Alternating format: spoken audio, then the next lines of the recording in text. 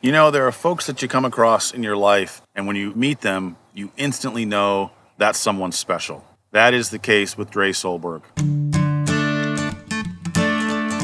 In Character Talks, we aim to unearth the hidden gems of human resilience, courage, and growth. We bring you tales of ordinary people who found themselves in extraordinary circumstances and emerged from the crucible of life forever changed. From tales of facing fear head on, to serendipitous encounters that altered destinies, and from travels to distant lands that broaden horizons. To battles fought within, we believe that every experience holds the potential to shape us in profound ways. I'm Chris Christie, and this is Character Talks. I am excited for this next podcast because the first time I met Drae, the first words to describe them were genuine and authentic. Drae's word is compassion. And we go into a deep dive into this podcast of why that word is so important and how that word is being applied to their life on a daily basis. This is a super fun episode. I hope everyone enjoys it. A special note if you're listening to this podcast on the Mill app, then stay tuned because we've got a little special contest at the end of this for you to win some free merch. So if you are not listening to it on the Mill app, then download the Mill. It's available on both the Apple and Google platforms. Download it, listen to it there, and uh, participate in future podcasts.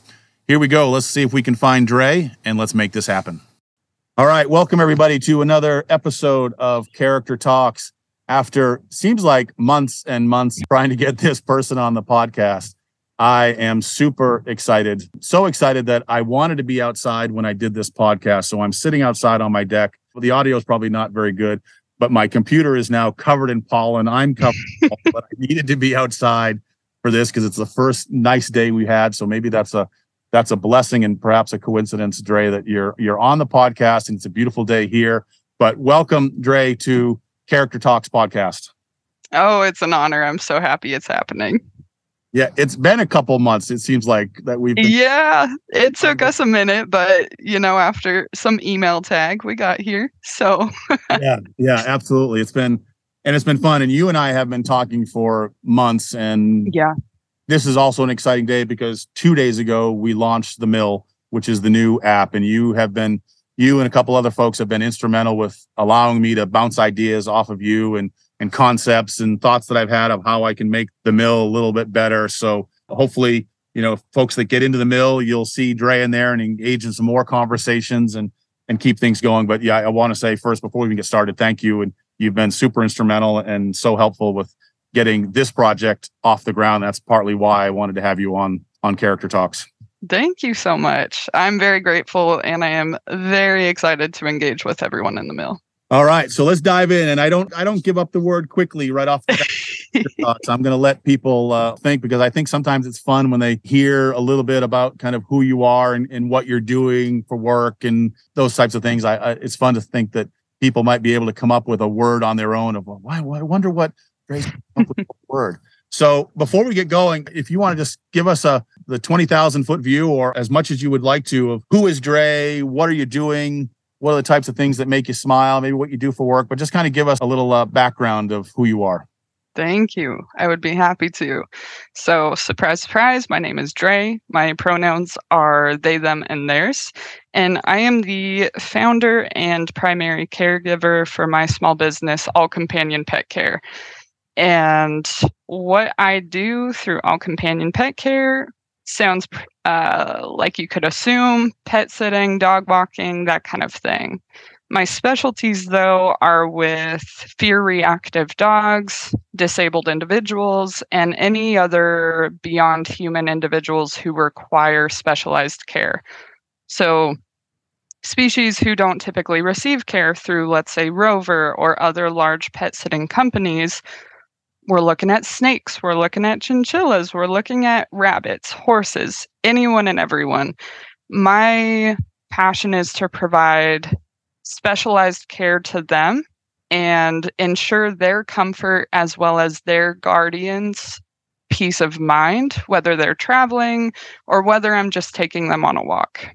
That's awesome. We've spoken so much, and I don't think I recognize the scope mm-hmm. uh, level of what you do. That's fantastic. And I don't think I had realized the need but now yeah. looking back and especially with Character Walk 2023 and the in the walk we've done and the dogs and things that we've met, I see that there was a rescue in Pennsylvania, the Animal Rescue League of Berks County, that has a whole kind of animal behavior section to it. You can probably expound on this even more than than I can, but their whole thing is the human animal connection.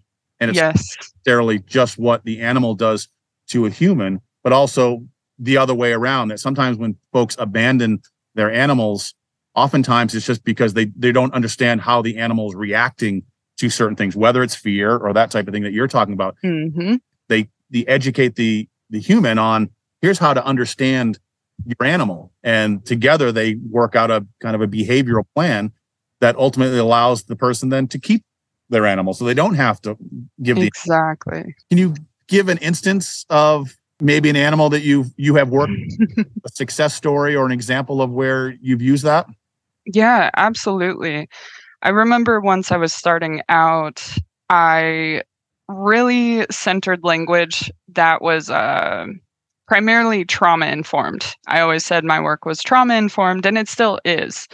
Uh, some other terms that I started to use included force free uh, and working towards fear free. And all of that essentially just means that I'm centering the individual who I'm caring for, their consent and their autonomy. And so I'm considering the uh, beyond human individuals I'm working with as the thinking, feeling, breathing individuals they are, right? And I shared that to a Facebook group here. I was just letting everyone know hey, I started this business. I'm just starting out, getting off the ground, trying to jog at this point. And a local guardian reached out to me. And also, you may hear my cat in the background. Um, so she reached out to me and she cares for a fearful and reactive dog. That means that he has really big feelings about the world. And that is often the case, like you were speaking about, when guardians give up on dogs. He's fearful. He doesn't love walks because when he's on walks, he is over aroused. He is just very excited and reacting in a big way to the world. With that being the case, she has not been able to have anyone over for years. She hasn't been able to travel for years. She's been at home caring for this dog, doing everything possible to tailor each day to him, which he deserves no less. It is difficult though because she started out with his training uh, in a way that's it's referred to as balanced training, and that includes the use of prong collars and e collars, electric collars, and things like that. And she noticed that she was using these tools. She was using an e collar to assist her pup, support her pup. But ultimately, if you're going to be pinching someone every time they're reacting to the world and expressing themselves freely, they're going to try even harder to express themselves. Right. And so his reactivity just grew and grew and grew to the point that again she could not have people over anymore she could not travel and so we became introduced started doing what we call parallel walks where we're literally in an industrial park opposite sides walking parallel to one another and slowly you de- decrease that distance i start tossing treats instead of her just providing the treats and that's where we started and it has been just about a year and we had our first sitting visit where I actually stayed over with them. I cared for the pups, and it was absolutely incredible because once we started, you could see the fearfulness. You could see how he was reacting to the world, how how difficult it was because not only had he experienced the trauma that comes with an e-collar, he had recently, not long before we met, been attacked by a couple of off leash dogs, which is an ongoing problem as well. And so he was just not okay with the world, which makes sense. And here we are a year later, able to sleep together in a bed and play in the backyard and just have the best time ever with my safety being centered as well as his. And it's just amazing to see how he went from a super tight, tense, upset pup to a loose, wiggly, happy boy. It's fantastic. It's amazing. That has to be one of the most rewarding stories. Just to, mean, if that just doesn't make it all worthwhile, a big word for me. I mean, it's tattooed on my wrist is is ikigai, which is essentially in the Western translation of this Japanese term is the reason I wake up in the morning. Yes, exactly. If that isn't a reason to wake up in the morning to to know that you have that kind of impact. Yeah, it's it's an honor. It's amazing the trust that families place in me and specifically the beyond human individuals. It's incredible to see how even after experiencing the worst harm in the world, they still can come around to trust and love. It's an inspiration at best. Yeah, and just the ability that you you have and again, I think that's what well, one of the many reasons why you're such a special person and but the the empathy to be able to recognize to recognize that. And one of the first things I picked up on was you mentioned getting the pup outside. And I went, "Oh, you know, isn't that just the isn't that such a truth for most people? Mm-hmm. You could just spend a couple minutes and just get outside, whether it is something as simple as a, a short little walk or that type of thing. But but but then understanding, and this is something that I'm learning, is understanding perhaps why people don't get outside. Well, you know, what is the yeah. barrier? And and you're kind of doing that same thing with with animals and yeah, just taking it to a whole nother level. That that is a fantastic story. Thank you. I appreciate very, that. that is very, very cool. So when you're not doing that, what does Drae do for fun? When you're not working, what's occupying your your time? And I and I ask because I think people are already going to be able to relate to you in what you've just said, but let's see if we can create some more ways that people go, oh yeah, I enjoy doing that too. And and I think when we finally then get into your word, your word will have even that much more connection to folks. So when you're not doing that, what is Drae doing for fun? Oh, you know, at home caring for my own cats. Um, no, for real. We we work on a lot of training and just spending quality time together, uh, keeping life a lot lighter uh, because you know it's not so light everywhere all the time. So we just play a lot, cuddle a lot, but beyond caring for everyone else, I will consistently be found outside. I'll be kayaking, biking, snowboarding, ice skating, anything and everything. Um, I am one of those people who is perfectly content waking up at 4 a.m. to watch a summer sunset on a lake or from a mountaintop. Genuinely just want to be outside and camping all the time. And it's amazing because with the role I have now, I can take just about any day that I want for myself. And um, uh, I'm just thinking, I'm I'm breathing a sigh of relief basically because this next week, spending a week in a cabin, and the entire time I'm just signing off. I'm just spending the entire week kayaking, swimming, enjoying nature for who and uh, what she is, and really reconnecting not only with nature but with myself. And I guess ultimately that's synonymous. But um, yeah, just anything to practice mindfulness, anything to stay connected to myself and nature, and um, anything that centers joy and peace, to be honest, whatever I'm feeling that day. That's fantastic. Again, for those listening, we've been friends for a little while, not not mm-hmm. a long time, but we've also been able to share. I mean, you've seen some of the some of the down points for me when I've had to cancel podcast mm-hmm. or Zoom calls that we've had just when we've been talking about the app for various reasons. And and I know a little bit of recent jobs and things that you've had that have sensors and different things and have kind of taken your life out of balance. And so it was great before we started the podcast when you and I were were talking. The tone in your voice uh, is just completely different than what it was six, six months ago. With that in mind, knowing that you know life does create its own obstacles, and a dear friend of mine, Chris Dorris, very successful coach and just massively intelligent individual. I love the quote that he says is very simple. It's just ain't bad, just is.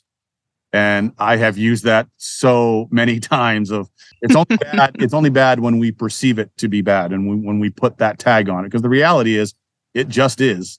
Before we get into your word, last last question will be where are you right now? And it goes back to what you and I talked about before the podcast started of what space are you in now and did you do anything different? Uh, what what prompted you to kind of help get into the space that you're in right now?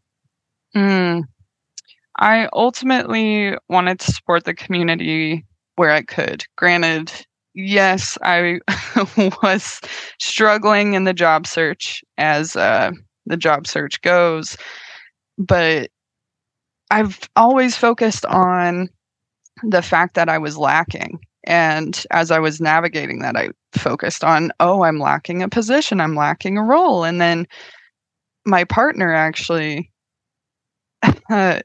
called me in and shared the abundance that I already embody and encouraged me to really think about well, what if you started your own business? What if you paved your own way and stopped relying on someone else to define that path for you.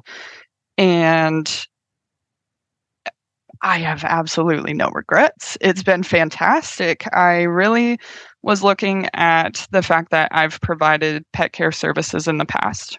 Granted, they weren't necessarily trauma informed, they were always force free and positive reinforcement focused, but not trauma informed quite uh, at that point.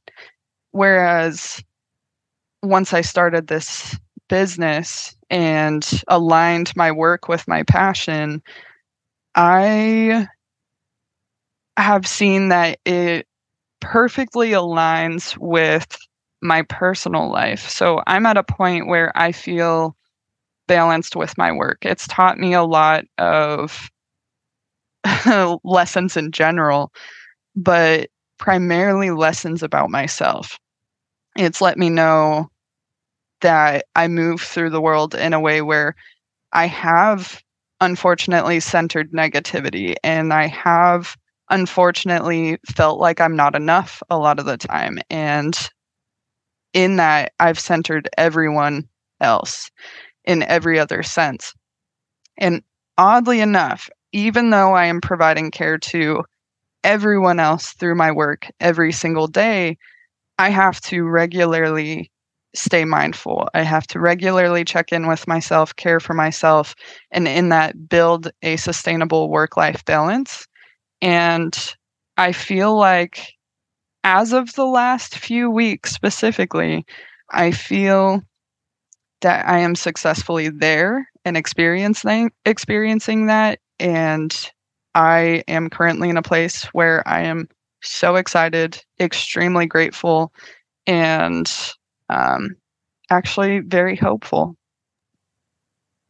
It's hard though, isn't it? It's hard to. Oh my god. Ooh, it's a lot of work every day, all the time, and I know it will never end. So, for again those listening, when I first emailed Drake's, I believe I reached out to you. Mm-hmm. The words that I used which I think people can probably begin to identify with you. I believe I used the words genuine and authentic. Mm-hmm. Those were the two words. And so, with that in mind, what is the word that you've chosen for character talks? I have chosen compassion. And without getting into the Webster's dictionary of compassion, how do you define de- compassion? I define compassion as concern for the well-being of others and uh, centering love in that concern. So rather than it being anxiety centric, it's more love and joy centric. Okay, I don't think you're going to see that definition in Webster's. That's a far, definitely that's a not more no. detailed and um, personal uh, definition of that word, which is fantastic. So, have you been practicing compassion? It, would would you say that was your word 15 if I had asked you 15 years ago, would that be the word that you would have chosen?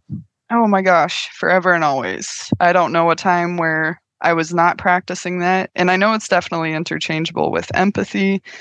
Uh, I feel like from very, very young, I was a highly empathetic person and compassionate, because stick to the word. Interesting. Okay. Mm-hmm. And so for you, being compassionate, kind of like that's part of your DNA. Uh, again, when you look on the website, the first page of the Character Mill website is what defines who you are. Mm-hmm. Is there someone, if we go back then even further than than 10 years, and of course now we're listening to my dog bark in the background.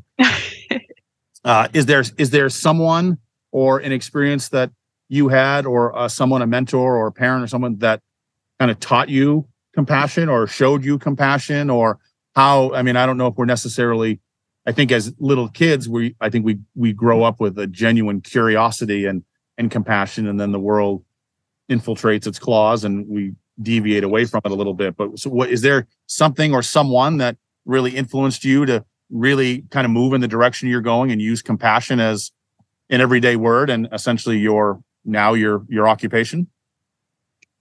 Yeah, by default, I want to offer up names of some family members who have inspired compassion from an early age.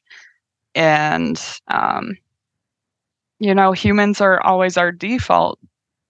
But I know for me, the individuals who inspired compassion the most and most consistently for me were the beyond human individuals I lived with and I encountered on the street or in the hills.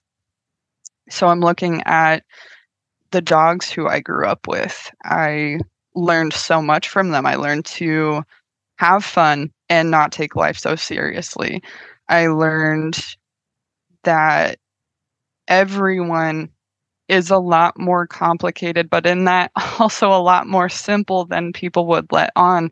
And that includes dogs, cats, wolves, giraffes, anyone and everyone of any species, we all have a lot of complex emotions and experiences. And I understood that I didn't know every second of the dogs I lived with, I didn't know every second of their lives. Even though I lived with them, they were still having an experience of their own. They had perspectives of their own. And recognizing that made me realize that all these individuals no matter the species, no matter the experience, human, beyond human, have beautiful, full lives that the next person will never fully comprehend, even if they received a book that wrote down every bit of each of their days for their entire lives, we still would not comprehend that person's perspective. And I found that really beautiful. And in that, I have to give a lot of credit. A lot of credit goes to a rat who I cared for when I was young. Her name was Dahi, and Dahi quickly became my best friend. She was the absolute sweetest, and I was especially excited because my mom was like, absolutely, I'll save the curse words, not. No, um, we are not bringing a rat into the home. I'm not a fan. I can't deal with their tails. And so little Drae was like, okay, mom, I hear you, but I will be responsible for all of her care. I will support her, all the things. Fast forward, we bring her home, and my mom falls in love. And watching this beautiful interspecies relationship blossom that my mom would have denied at any other time of her life. She opened up to love from a rat. And I still find it hard to believe, but she had so much love for Da. He was so excited when she was in her ball or just running around the house. And watching not only my mom nurture love for Dahi and Dahi nurture love for my mom, and in that nurture a lot of trust, one of the dogs I lived with came to clearly love and trust Dahi and vice versa. And I would have never expected that. A huge boxer just watching a rat run across the ground and they're coexisting. And so not only do we have a dog and a rat, we have humans. We have three species healthfully coexisting. And it let me know that healthy interspecies relationships are possible and they should and always, or they should always be centered in love and with the well being of everyone um, in mind while building those relationships. Again, another super powerful story. did did da, is Dahi a name for something? That where did the name Dahi come from? You know, good question. I played a lot of video games growing up, and uh, I had this friend who actually lived in Ireland, and we were just playing video games one day and shared the name Dahi. Don't even remember the context. I just know it's a Celtic name, and uh, I was like, "Oh my god, that's the name." that's awesome. Yeah, because I, I I too had a rat, and that rat, oh. rat's name was Felix, and Felix went back and forth the country, driving across the country with me. I think twice. Oh my goodness! Felix would just perch right on my shoulder as I was driving down the road. So yes, that is beautiful. I love that. Felix Felix did not have the impact uh, because unlike your mom, my mom wanted nothing to do with me. uh, yep, that's that's more so a normal response. That's what I typically see.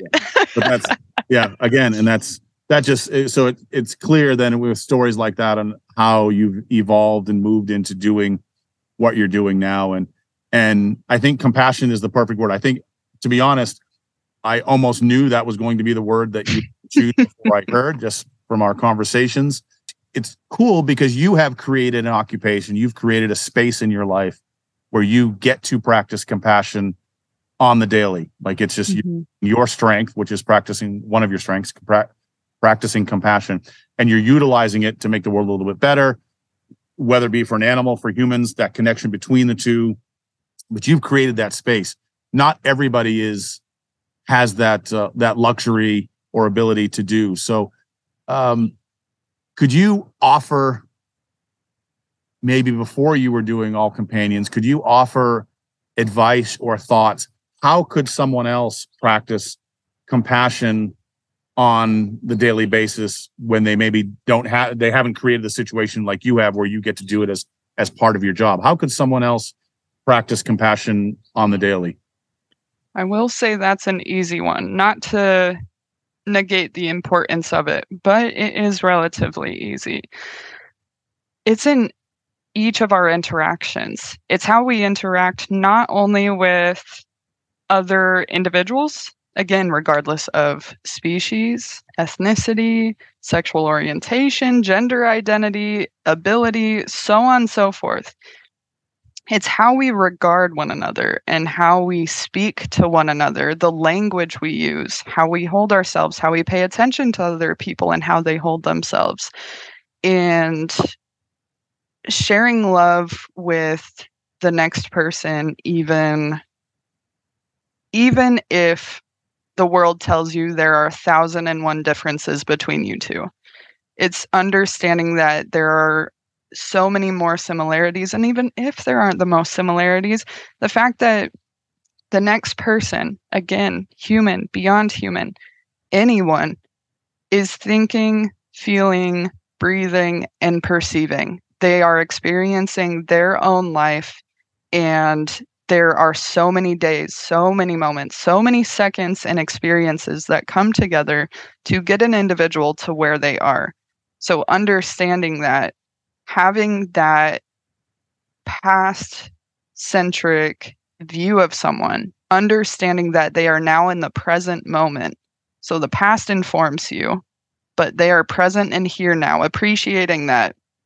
And then knowing that you can have potentially a future interaction if you navigate this present one with compassion, with love, and appreciate the individual in front of you for who they are, not who the world wants to make you believe they are, who they genuinely are, taking the time to get to know what brings them joy. I always ask the people in my life, what brought you joy today? It's not how are you? It's not something like that because unfortunately in this world we're this human centric world we're encouraged to focus on the lack what what we're missing what missed from the day what made it not so great. That's typically the default response. So to nurture more of a connection with people i ask what brought you joy today? So appreciating the individual ahead of you and not only the individual you can practice compassion by appreciating the land, appreciating the sky, appreciating water, appreciating that little rock on the ground that looks like a heart, taking time to respect the land, respect the sky, respect the water, and in that express gratitude. You can express gratitude for your past and the fact that it got you to this moment. You can express gratitude for this present moment and all the beauty that exists within and beyond you. And then in that, express gratitude for the amazing future that, yes, you could plan for, but you really have no idea how it's going to turn out. And that's so exciting. So why not build something great right now? Yeah, very cool. And you're right. I, I think it is it is so easy. That was a, an easy question, I guess, especially to someone like yourself. And it goes on with the conversation I was having with someone before, prior to our doing the podcast here, was that that's one of my goals with the mill is to get people outside and to go on adventures because when people take the time to self-reflect and then hold themselves accountable for who am I as a person and what defines me, when we take time to do that and we grow that character from within, then I think innately we are as human beings we're meant to care. We're meant to love. We're meant to heal. We're we're meant to do those things. As you said it's those outside influences that kind of get in the way and the world tells us mm-hmm. supposed to think and how we're supposed to feel. And it's not necessarily although it's becoming a little bit more mainstream to it's okay to feel the way you want to feel which i think is hugely important. That i think the more people hold themselves i don't want to say accountable because that's it's like you did something wrong but just get to know who they are, then I think they become more aware of their actions. And when they when they do that, I think compassion becomes an easier word for you. It's it's e- it's easier for me. I think I'm getting there and I'm growing every day. But there were certainly times in my life where I, I wouldn't say compassion was was high on my list, but it's it has gotten that way. But through work, like you have done. But yeah, I think know innately, wouldn't it be wonderful to be living in a world where empathy, compassion, love were just mainstream. Exactly. Absolutely. And I will clarify it's easy to answer, but not always easy to practice. Absolutely. Again, yeah, yeah the Agreed. world Agreed. being the way it is, it uh it takes a lot of work on the daily. And again, this is a lifelong practice. This never ends. to practice compassion each day, it's uh not an easy one. And that's why I always have to remind myself discomfort is where I grow. Discomfort is where we grow. That is where great change happens. And sprinkle in some love, joy, and peace. Voila, the greatest change we'll ever see. Yeah. You know, when I when I was giving uh instructional stuff and even with that uh, when the with the people that I work with in the Character Institute, the thought that I always come back to is, you know, when you learn something new, if it feels right, it's wrong. Yeah, because it feels it's a good way to live. Absolutely. Yeah. it feels right, you didn't you didn't really make a change. Yep, you got to think. You got to be feel, you got to be uncomfortable little, to move forward. It should feel a little uncomfortable. Mm-hmm. You know, whether it's a, a golf swing or your approach to how you interact with others. If it's you know, if it's not, uh, if it doesn't feel a little strange, you're not really ultimately. so, all right. Like so going back to because ultimately our you know the goal of the mill is to get people outside and on adventures. How do you define adventure? Mm, good question. Adventure to me is a chance to enjoy, experience, and extend that compassion to the land around you. All right, keep keep going. Keep like oh, keep keep like, elaborating. Like, like, how? How? I oh, so let, it, let, me well let me ask the next question because it they maybe perhaps they'll go okay. And like I hate the word bucket list. Oh yes, no. The idea mm. of it is I'm, I have to the bucket list is I'm going to kick the bucket. Well, that, boy, if that doesn't Mm-mm. positivity, and um, so one of the words that we're we're focusing on, and, and actually it's a future project, is I, it's my life list. It's the things I want to do during my life. And so, what's on your life list? What's something that you you want to do? What's what's an adventure for Mm. you haven't done yet that may be on your life list? Hmm.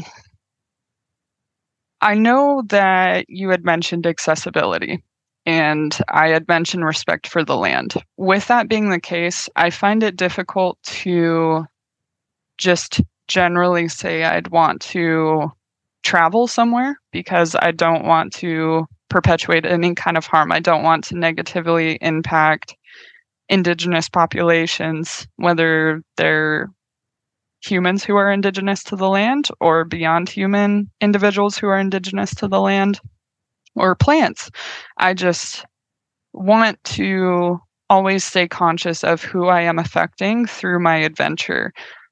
With that being the case, I have a difficult time because I want to surf, but I don't want to negatively impact any marine species by causing confusion or instilling any kind of fear. I I struggle with that because my uh, dad really enjoys boating. I have a hard time getting on a boat and knowing that we are quite literally disrupting the natural state of the lake. And with that being the case, again, it makes it difficult to just say, "Oh, I want to travel the world," even though. Uh, I'm like anyone else. I want to travel the world. I want to see these beautiful places. I want to encounter these amazing communities and uh, individuals. Yet, adventure for me at this point looks like switching up my day slightly to go to the park to watch a sunset I wouldn't otherwise watch because I would typically be working.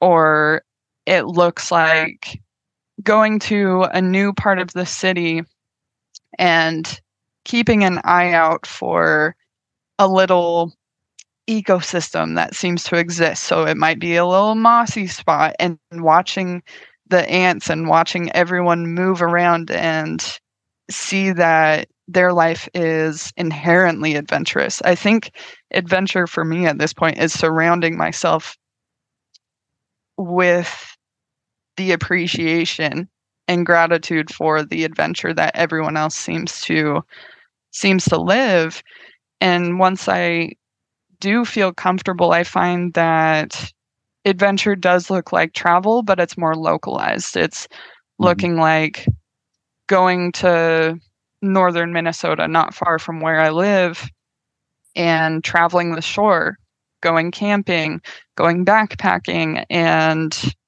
relying on me, myself, and I, as well as nature, to survive and thrive through a week. It's it's reconnecting with myself, and it's an adventure every day. Just staying mindful and staying conscious and practicing all that we spoke about. Yeah, that's fantastic. And I didn't expect that answer or, or answer of time. And it really, the thought that keeps popping into my head is when we talk about adventure, oftentimes, again, the world tells us that we're adventure is supposed to be climbing Mount Everest or right. Doing something crazy. And one thing that we stress with the mill is an adventure is whatever the adventure is for that person.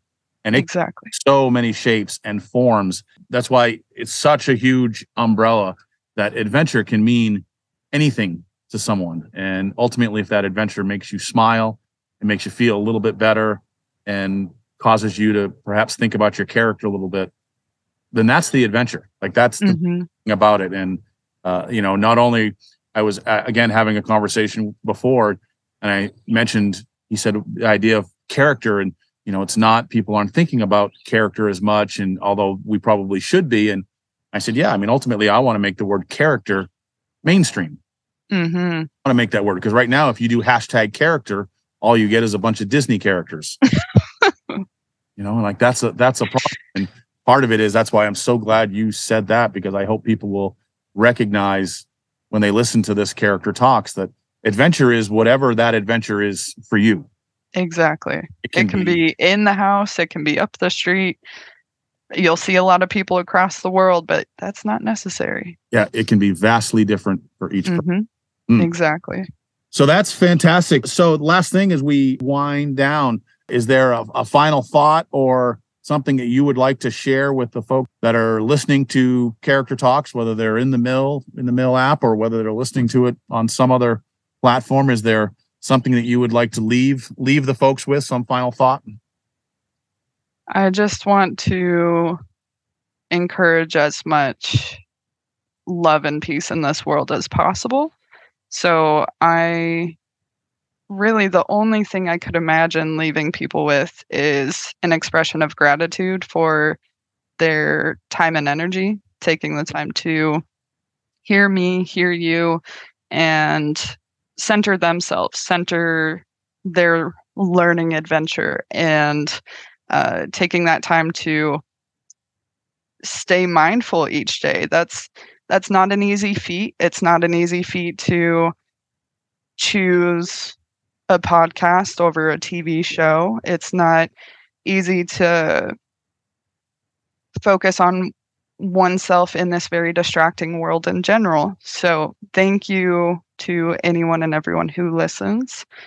Uh, thank you, Chris, for this opportunity. I'm extremely grateful for not only this chance to speak with you, but for the opportunity to be your friend and regularly witness ups, downs, all arounds of your life and share mine with you. And uh, you've been easily the most inspirational and amazing mentor and friend. And um, I'm grateful for this space. I really do hope people genuinely heard all that I shared and set set a goal to practice compassion for all beings and for the land every single day. Well, thank you for those kind words, Drae. And I was, as you were saying that, I was thinking, it seems like every conversation that we have, whether short or long, when I get done, I feel like I'm just a better person. you know, you know, it's just I think again, listening to your words and and feeling your energy and how you express it, uh, you know, you just feel like you're a better person when you are when you are around someone someone like you. And so the people that are your clients are very very fortunate to have you in their lives. And i hope people will you know listen to this podcast but and i i hope they'll almost listen to it a couple times because i and that's what i'm going to end up doing because i think there was so much in it yet expressed in such a calm way that i i hope people get a chance to listen to it a number of times. And i'm so glad that we both were persistent in in making this finally come to fruition and happen because there there's a lot of uh there's a lot of love and a lot of thoughts in here. And again the key word being compassion. If we practice it on the on the daily basis then I, I think the world becomes a better place for for all of us. So Drae again thank you so much for joining us on Character Talks and and good luck with everything. Thank you so much. You having me leave with a major smile. So thank you too. I'm glad i could be here. All right. Thank you to Drae Solberg for that podcast, during that podcast, I got thinking so many different times of how I could perhaps have a bit more compassion in my life. The way Drae applies compassion to everything they do during their day uh, with their all companion pet care, uh, it's just absolutely inspiring. So thank you, Drae. I'll include all the notes down below for to be in touch with Drae if you have any questions. If you've not, if you like this podcast, uh, we invite you to whatever platform you're listening to to like it and follow us. Uh, maybe write some reviews. And if you're listening to this podcast on the Mill within the Mill app, then stay tuned. We've got something special for you. And if you haven't, if you're not listening to it on the Mill, then we invite you to download the Mill. It's available on all the Apple and Google stores. In Google, it's called the Mill. In Apple, it's called the Character Mill dash the Mill. But download it. Come check it out. It's a it's the new social media where you can come in with a smile and leave with a smile and share fun stuff that made you smile that day and get inspired to go on more adventures. And let's go build some character through more adventures. So check it out. Thanks so much again for listening. We look forward to seeing you at the next podcast. Just a little bit wet. A A Wow. First of all, thank you so much for listening to this podcast on the Mill app. Your involvement with the app and your contribution through posts is what's going to make this community so much more special. So please feel free to dive in on a daily basis and share what's going on in your world and things that make you smile. So, for those that have listening to it on the mill, we got a special contest. Chris Dorris, who is a very, very successful coach, he is referred to as the mental toughness coach, has written a number of books, one of which I read on a daily basis. So, if you are listening to this and if you DM us, either DM through the through the app, DM us on any of our social media platforms, or email chris at thecharactermill.com the first three people that do that, that mention this podcast, we will send you a copy of Chris Dorris's book, which you will absolutely enjoy. And I use it as a way of starting every single day. Uh, it's way I, it's part of my morning routine is reading uh, just a single page. Uh, gets me into the right frame of mind and really makes every day, as Chris refers it to, the best damn day of my life. So be sure to check it out. DM me any of the social media platforms or email me, Chris at thecharactermill.com. First three people get a free book. Thanks.